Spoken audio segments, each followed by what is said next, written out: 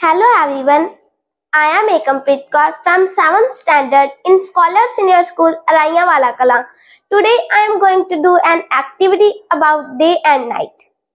As the earth is rotating around the sun, its every part is exposed to the sun within every 24 hours. This rotation causes day and night. Let's switch off the light and see. This is sun, this is earth. Hmm. The part which faces the sun is illuminated. Where there is no sun, there is no light.